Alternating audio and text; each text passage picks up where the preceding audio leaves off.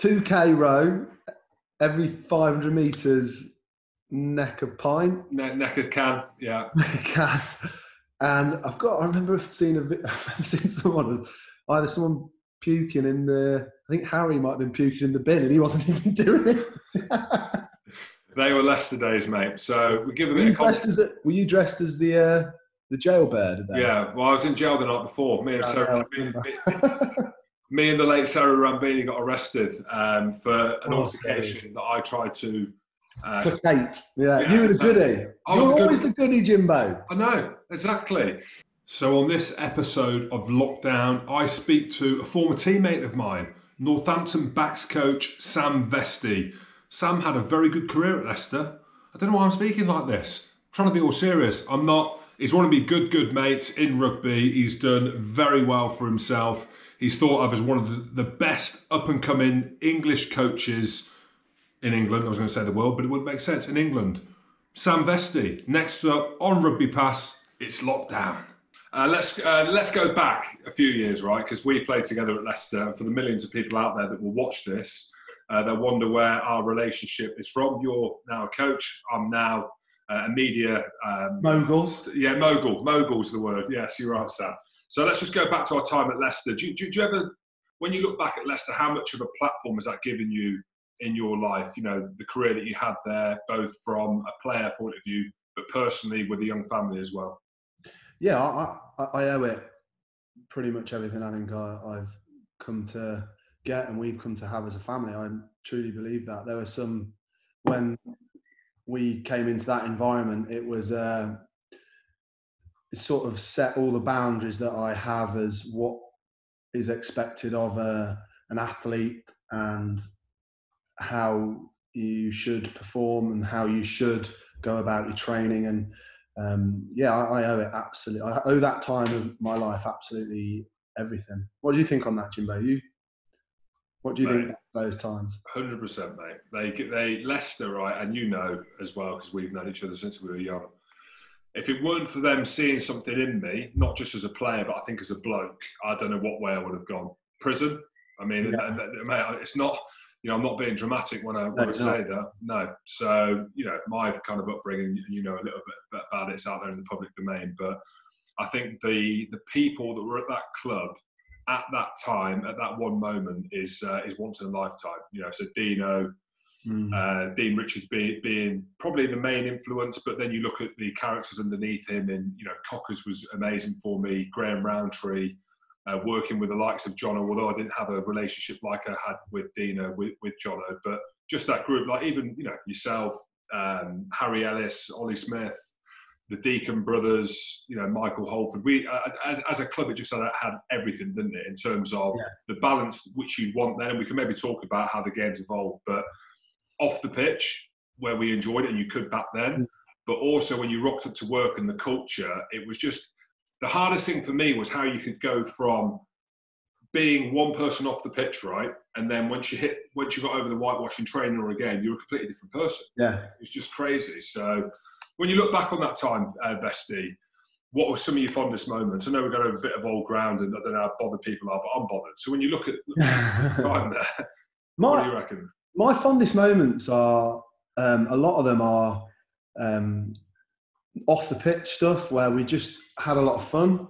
Um, uh, you know, I mean, we did some great things on the field, and I loved all that. But mate, we had some great times off the field. As you say, we worked hard on the when we crossed the white line. That was very definite, but there was some good fun off it as well. And growing up through the age groups and um, you know that they were real fond times, man. You you make some really good friends at that time, don't you? And uh, you know, I look back on those with real fond memories. I mean, Yeah. some of the some of the some of the drinking sessions were great fun. Some of the games we had where we were in the managed to get ourselves out of the crap and win games, and some of the training sessions. Like I look, you look back on some of those training sessions where it used to kick off, and actually you look back on those fondly now and go, flipping out, they were they were good times. how much of that kind of culture, because it is so different now. So the Mm. going out boozing obviously doesn't really exist anymore. The scrapping in training, like as in, we're not talking handbags, we are talking full on mass brawls in training. But how much of that and that kind of culture can you transfer into coaching? I, th- I think, um, as I say, I think I, what I took from my time then was that was that was that spit out lots of people that couldn't take that environment. It created an environment that if you weren't that type of person, there was nowhere to go. You had you either swam or you sank, and if you sank, you just got got rid of. You were there for three months and then suddenly gone. And that happened to a lot of people, didn't it? Mm. Back in those days. And I think actually a lot of the people it did that to would have been good players.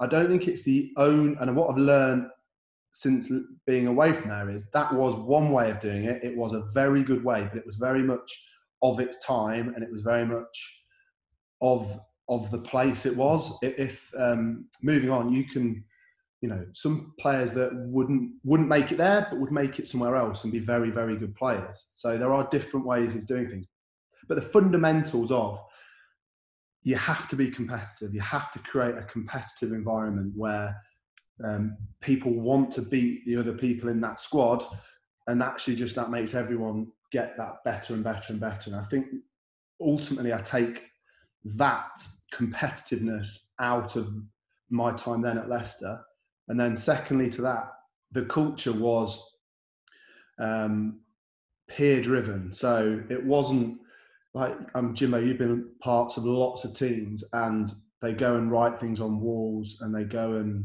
make lists of things and they do all these things. Actually, at, at that point, then we didn't do that. But you knew as soon as you someone was out of order, it was put down, and everyone knew where the boundaries were, mm. but they just weren't written on walls. It wasn't like that. Dino set a culture. The the players, those Jonos, Cozzers, Cockers, Wigs. You know, there's such a so many leaders there that just bossed it, didn't they?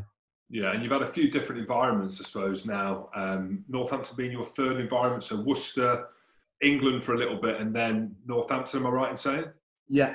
So out, out of them environments that you've had, Worcester, I mean, they've been, they've been a, tr- a club that have struggled, but they've also produced a lot of good players. So how was your time with Worcester, then into that England setup, and now into a much kind of bigger role, a bigger team, no disrespect to, to Worcester, and more of a hands-on role seemingly. How's that been? Um, I've had a great transition. I think I finished at 31, and um, a friend of both of ours, Dean Ryan, gave me my first job. Um, first time I met, I went, I went, and had a beer with Hoggy in uh, Cheltenham, Jimbo. Carl Hogg. Yeah, yeah, Carl Hogg. That was my um, that was my interview, and um, obviously past that, and I actually got the job I got was you'll love this transition coach um, at Worcester. So I was basically looking after the um, academy, the kids coming out of the academy, and before they were sort of first team guys, and trying to upskill um, up, upskill those. So off the back of that, I got started. I did that for a year and a half, and then became the uh, got the job in the first team backs coach, and loved that and enjoyed that. And um, off the back of that, Eddie was looking for a skills coach just for a summer summer job, and I was obviously free over the summer. Um, discussed it with Worcester and got an opportunity to go out there to Argentina with him and and run the run the skills and get involved with the backs um, for that tour. And that was that was that was eye opening. That was because the level of ex, the expectation level that you set um, and anything that falls under that, you call out. And this was, I mean, Eddie Eddie wouldn't accept. He had it had to this the standard had to be up here physically, um, skill wise, you know, in all aspects. Um, um, discipline wise, all of that had to. There was, if, if anything fell below that, you knew about it. And I think, also, I think good coaches. I think that's the one thing that all good coaches do. They set high standards, and then then they I say call out, but they they they don't accept anything un, underneath that. That is not acceptable. Now you can do that in very different ways. You can do that in an encouraging way. You can do that in a hardball way, like Cockers. We all know, and I think lots of people would know how Cockers would react to certain situations where it would be right that's not good enough you're blah, blah, blah, and you can do it in that way. And you but you can also do it in a right we need to strive to be better by doing a b c and you know there are lots of different ways but they all good coaches set standards and people have to strive for them. And um, i think that's what he did very well. And um, yeah the the, te- the, the, the thing with eddie that i was enlightening for me is i I saw a way of I saw a, quite a traditional way of coaching, um, having through as a player by loads of different coaches through Leicester and when I was at Bath as well. Loads of different traditional, and by, traditional I mean um, we go from a drill to another drill um, where there are lots of cones around, and actually it can be quite slow, and then there'll be periods of it, goes fast, but then you walk to the back of a queue, and then you do something else, and and I just thought that wasn't the right way about doing things. And then Ed, I went into Eddie's sessions, and they're just fast. You're moving around from here. They're all very games based. Um, but then there's still this real high expectation level. You then jump out to do something that is a drill, like a maybe a tackle job, it's bang, bang, bang, bang, and then you're back in to go and do another games based thing that has people constantly um, practicing really purposefully. So we're like practicing at the top level, not nothing sort of in this lower, just easy, easy bit. And that was a real eye opener for me. And I think that's what I've strived for ever since, really. Yeah, and that's the thing. I think that some people are suited to an environment like that. And mm. ultimately, as you know, and you, you, probably know better than me, having um, seen what it takes to be a top level coach is that some people can't hack that, can they? I think there's a short window of where you can deal with that stress and that pressure and then having to back it up and the, the questions being asked. So th- this is why I think Leicester are going to do really well because Borthwick has been in that environment with Japan and we saw what Japan did in 2015 World Cup. Phenomenal. He's obviously, obviously been working with the Lions, but also recently with Eddie Jones. So I just wanted to touch on that. But now you're at Northampton. Chris Boyd has gone out to the world. Not that there's any other English coaches all over the world, but there might well be some in Argentina, who knows? And he's gone out to try and find the best young, ah. you know, 38, 39, 40, young England coach, and he's found you. But how have you found your relationship with him and his ambition and standards? Um, yeah, so Boydie, uh, we started talking over like this over um, Skype when he was still back in New Zealand looking for a job, and we just clicked on how we viewed the game, how we see the game, how we see attack, um, and the mindset of what we wanted to see on the pitch. And um, so I was, you know, we clicked really well and have done ever since. We're very similar in our um, views on how the game can be played and how we want to play the game. And luckily for me, he uh, he backed me to deliver the attack for Northampton. And the the, the real thing about um, beauty about Boydie is that he's he's uh, he doesn't man manage us, but then in any time we could go and ask for help, uh, but and but also would be pushed by him as well. So a real good balance between that's your job, go and sort it. Um, if you need any help, I'm here, but also pushing you, asking you questions to see to help you get along that path. So, um, no, love, really enjoy working with Boydie as um, uh, and I think the culture that he brought over to a had to sort of change a mindset at um, Northampton that was possibly a little bit. Um, Northampton been very successful with a strong pack, strong scrum, maul, and that game yet that game didn't probably suit the set of players that we had um, and who were trying to play that game. So we sort of looked at it in a different way, and everyone was so on board to try and play a more fluent game. So we had um, Dan Biggar on the podcast with with Goody. and I thought he was. I, have not heard Dan speak that much. I've just seen his demeanour on the pitch, having played against him. Uh, love the bloke. He's one of my favourite players, and when he came to the Premiership, I was really excited. Um, the big thing I wanted to talk about and get your understanding of what it takes to make it at that kind of level, and I'm sure there's probably about five million kids watching this lockdown yeah. show, so they could be interested to know, is you talk about mindset, and you also talk about players that are elite, and this is why I spoke about the England thing with you. So Chris hmm. Boyd came out recently and likened Dan Biggar to Michael Jordan, which is a huge, huge statement, right? Because Michael Jordan's arguably the best athlete the world yeah. has ever seen. Muhammad Ali is obviously up there as well. Jim Hamilton and Mike Tyson. See how I threw my name in there quickly.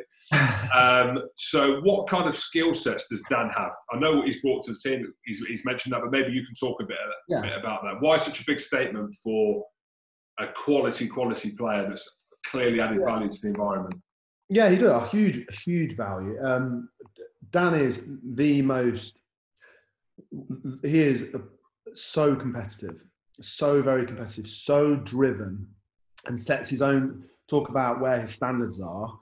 And I think that's all, like Michael Jordan came out of that documentary with a few um, a few haters, which that's what that's what elite sport often looks like. He's setting a standard that's there. Now, his demeanor to when people fell below that, he probably was a pretty cutthroat and you know there are different ways to get people above that line, and he chose a elite way. Dan's Dan sets standards and um, and lets you know if you're not up to those if you're not up to those standards. But it does it in a much um, better way than Michael Jordan does. But he's very much that guy that um, um, that you know, as I say, sets those standards out. Back to our Leicester days, that that was that's when we talk about being peer driven. That's what all those guys did. They set the standards, and if you fell under it, you knew about it, and you had to pull your socks up. And Dan's got where he's got. I think he'd be the first to tell you that he's um, not the world's best athlete, and he's not. Um, it doesn't float his boat, you know, the athletic side of it, but he has got one stubborn head on him, and he, if he sets his mind to doing something, he's going to do it. And you know, talk about what's the most important trait in any. If you want to play elite sport, that is it. I can. I think that is the most important thing. Yeah, hundred uh, percent. On that point as well, and we'll come back to the balance of the Northampton team. So you mentioned that's a trait, and, and that's maybe a trait more in your coaching capacity. What would be your perfect player? What three things are you looking oh, for? Wow, that is a that is a tough question. Um, doesn't need would, to be three things. Doesn't need to be three no, things. Right, it could I, just be. I would put th- th- things that I find I think really make things tick. Now it's position specific and all of that. You can change it around, but first off, you've got to be a competitor. First off, you have to be a competitive, just competitor in everything you're doing. You just have to compete, compete, compete. And I think you get that trait, it pushes you up in lots of the others. Now, my I think you need different types of players on the rugby pitch at any time, especially in the modern game. You need athletes that can go and beat people, monster people, monster them. You can monster them, and how you do that, you can go over someone, you can go around them, you can step them. Um, the, you know, athletes. So you've got these guys. So I think you have to. You're either one of these. Well, not you're not either one of these, but these guys, or you need to be able to be really good at finding people's space. So a facilitator. So someone in our team would be a George Furbanks, who's a not the world's biggest guy. He's not the world's rapidest guy. He's, he's sharp, but um, but he's very good at giving other people space. And we've got a good few of those. Rory Hutchinson's very good at that. Um, you know, Has Mal's very good at that. Those those guys. So um, I think uh, those, and the way I term that are, they're games players. So if you put them in a basketball game, they would still see the space and be able to get the, the right guy who was in space the ball. Now they may not be brilliant at the skill of it, but that because it's a different skill, but they'll see the game. They've got vision to it, and I think those guys and are truly um, they're the ones you really look for, and the, the ones I really look for. So if you're a young kid now, um, the way I think you get better at that is just going out and playing games, not not just rugby games. Go play any game and play as much as you can, but make sure you've always got your head up and looking where the space is. And um, what I really, I don't like in coaching of younger kids, and I'm, and hopefully we're getting away from this nowadays, is just that big bully guy who can just go and run over someone. Because when you get to a certain age, there's very few and few of those guys that can still do that in the Premiership. And actually, even those guys, you, look at someone like Skelton, who can probably do that. He's still got some great skills, hasn't he? He still knows mm. when to move the ball, and I think um, and when to put a bit of feet on it, a bit of step, and that. Um, so I think working on those finer sort of games playing skills are, are absolutely key. When you were talking, Jimbo, earlier about what you wish you could have got better at, or what you, how you would have run your done, what would you have done in your career differently? What what would you have done? Well, Vesty, if you were my coach, the way you were speaking, I reckon I would have been a three-time British and Irish Lion. Um, I don't know. yeah. um, I have a couple. I've got a, a, couple of regrets actually. So, like, I played this certain way, right, that worked, and a lot of that stems from Leicester. And I was in a mindset where you had to be hard as nails, right?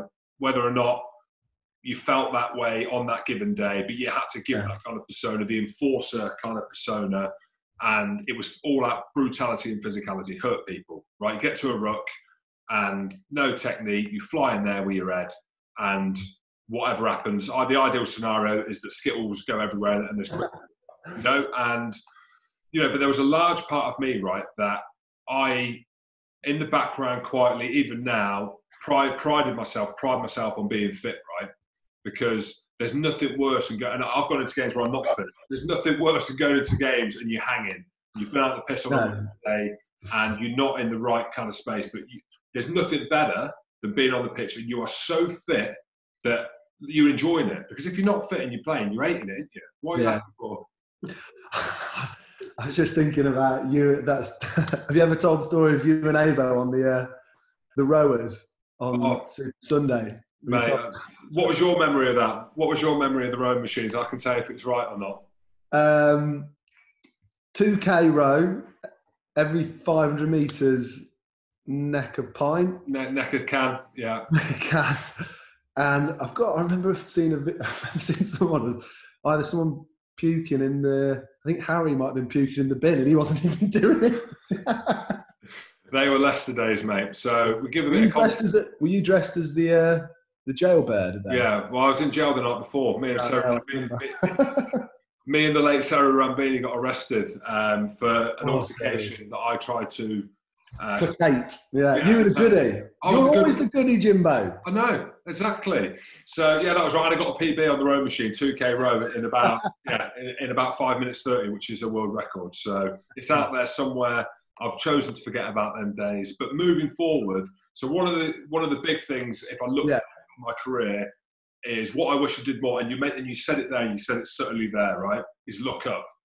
Yeah. Right. So I, and this is more as an international player. So I would be in the changing rooms, batting my chest, going nuts, right, at the players. Um, and I just wanted all out physicality. So I'd be in the mm. tunnel, right, and the emotion was over me. 20 minutes into the game, I am fucked.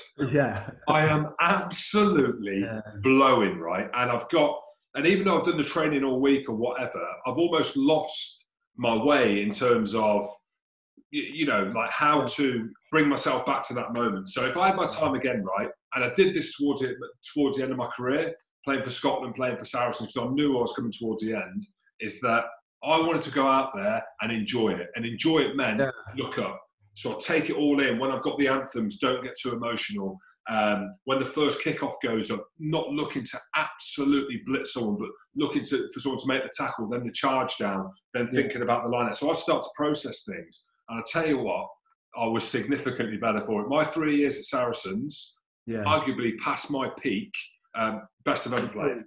Yeah. So I think that's um, to, like such an important thing now. I reckon we talk about. I think it's so important. Calm heads make good decisions. Mm rattled heads don't, you know, they may be able to clear a ruck out, but they're not going to make a good decisions at other things. But also, you do need that physicality as well, don't you, Jimbo? Mm. But you got to so you got to balance it. Uh, yeah. Not an easy one. Um, my my um my crit my sort of criticism of the way I think the Premiership was coached back when we played in it was, and I think this is sort of your point at Sarah's. Uh, before that, most of the week was spent organising for the weekend. So you must have gone through a million different lineouts Monday, Tuesday, gotten down Thursday for this weekend that you're going to get that you're going to go and use them on, or and we're going to do this play. The backs are going to do this bit, and then we're going to do this. It was all very almost like a dress rehearsal for a theatre production. So you're going to go and stand here. You're going to see the kickoff in this format. You do all that. Now, all those things you need to do a level of organisation. But my criticism would be, how much of that week were we getting better as rugby players? Hmm. And I, I don't. I'm not sure we were getting I'm not sure how often we were getting told to look up, catch the ball early to give you a little bit more time, and, but actually spend time doing it and getting better at playing rugby and and making decisions. And um, I think one of my big um, drivers is what I really enjoy is, is people getting better every day at rugby. And then we have to do the organisation on top. We have to set up what the kickoff formation looks like. You have to do things like that. But it isn't the be all and end all. The be all and end all is players getting better for me.